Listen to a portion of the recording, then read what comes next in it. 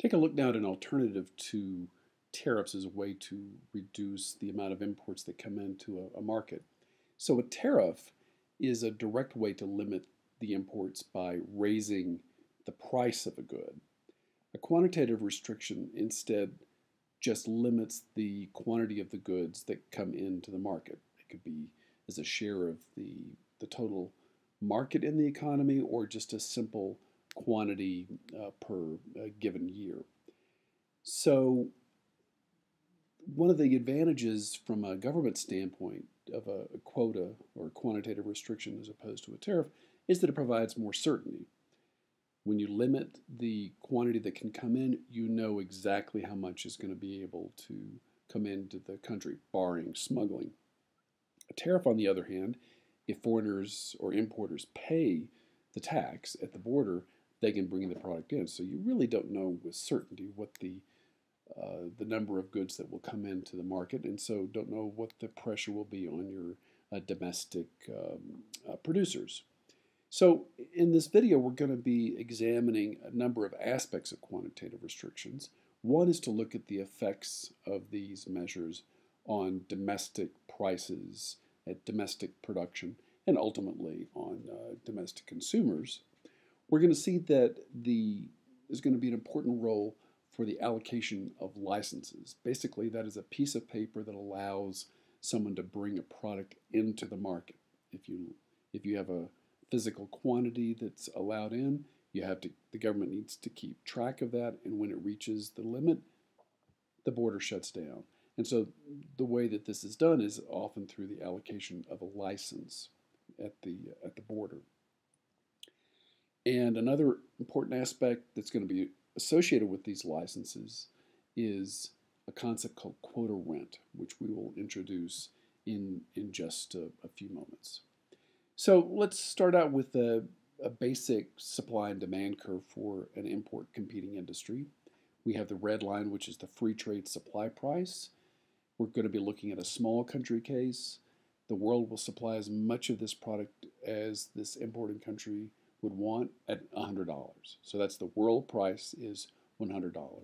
Q2 is demanded, Q1 is supplied domestically, and the difference, of course, is imported.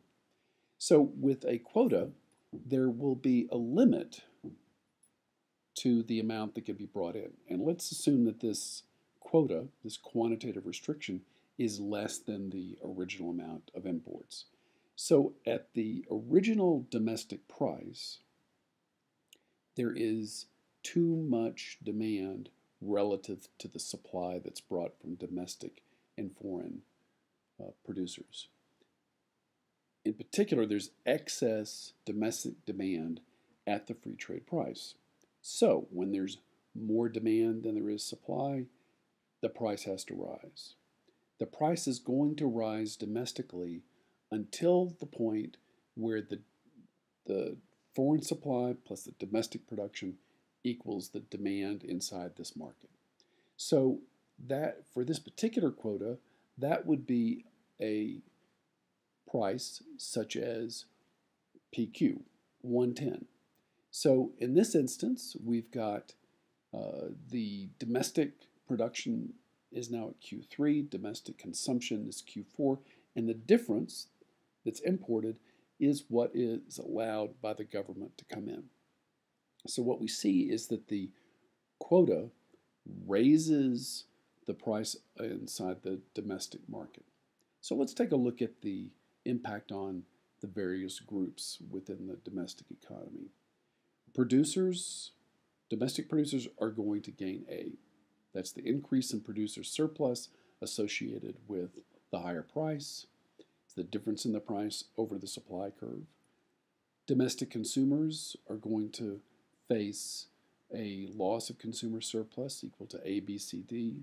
That is the difference in the price over to the demand curve. And then we have a question about how the government is affected by this. With the tariff, they had, they had government revenue directly through the import tax. The impact on the government in this instance is going to be unclear because it depends on how the licenses are allocated for the imports uh, that come in. So let's we look at the the welfare effects, we've got gains and losses outweighing each other on the domestic consumer and producer side. The producers gain at the expense of the uh, domestic consumers. And we have this net effect of BD, which are the standard deadweight losses, very similar, in fact, exactly the same as with tariff. And then C, this is a loss to domestic consumers. It's not clear whether the government is going to earn this in terms of, of revenue, which is what we'll explore now. Now, an important part of this story is what's called a quota rent. Now, a quota rent is the difference between what foreigners were willing to bring this product into the market and what they're allowed to get if they're able to sell within this protected domestic market. Now, if a foreigner gets a license, gets to sell inside the domestic market, they sell it for $110. If they sell this same product anywhere else in the world, it's $100. The difference between those two is the quota rent. The foreigner would be willing to pay up to $10 in order to get access to this protected domestic market. Now, they would clearly prefer to pay nothing so that they can just pocket the extra profits associated with the protected market but the government potentially can gain some revenue by charging foreigners for the right to sell inside the domestic market. So the, the net welfare effect is going to depend very much on how these quota licenses are allocated by the government. So let's say, for example, that the government auctions the quotas to foreign suppliers. They say you are w- more than welcome to sell inside our market, but we're going to make you pay. Now, if there are lots of foreign producers that are competing to get access to this domestic market, then they would be willing to pay up to that area C in the previous graph. If that is if that happens, there's going to be essentially the same revenue that the government would have earned with a tariff that is instead earned through the quota licenses uh, sold competitively through an, an auction process.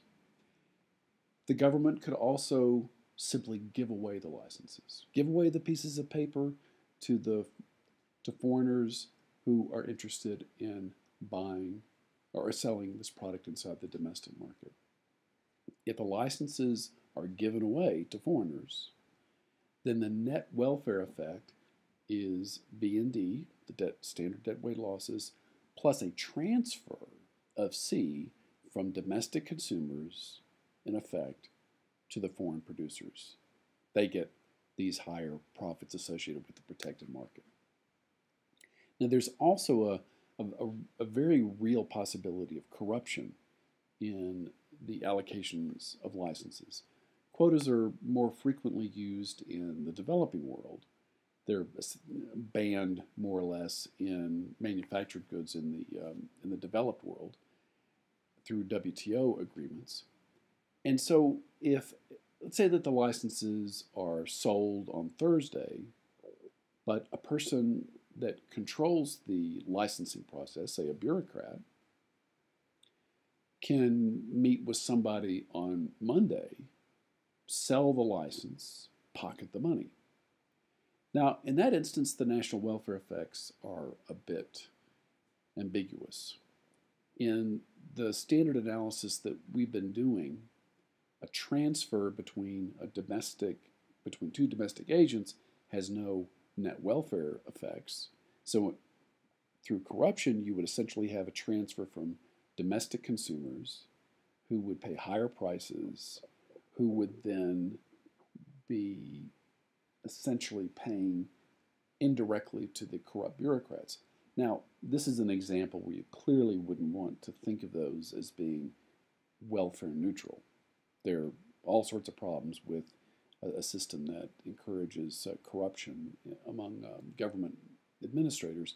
But nonetheless, if we do the analysis as we have been uh, pursuing so far, the net welfare loss of corruption would would only be B and D because the C would be a transfer from from consumers to the to the um, to the bureaucrats.